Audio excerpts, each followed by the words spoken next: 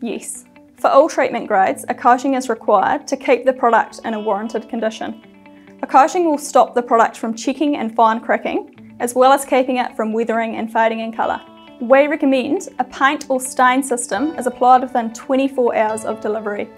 An oil-based stain with an LRV rating of over 40% is best. This penetrates into the timber and protects it from the inside out. Make sure any exposed and cut ends of the timber are capped and sealed tightly. Reapply the stain system every 6 to 12 months to keep your glulam looking great.